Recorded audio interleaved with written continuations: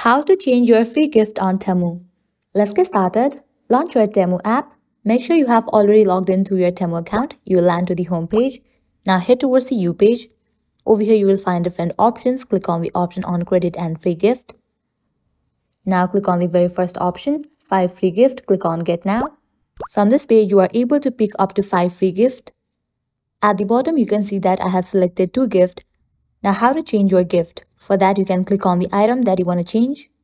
Click on this trash icon. With that, gift will be removed. Now you can add another gift. This way, you can easily change your free gift on Temu. I hope you guys are clear about it.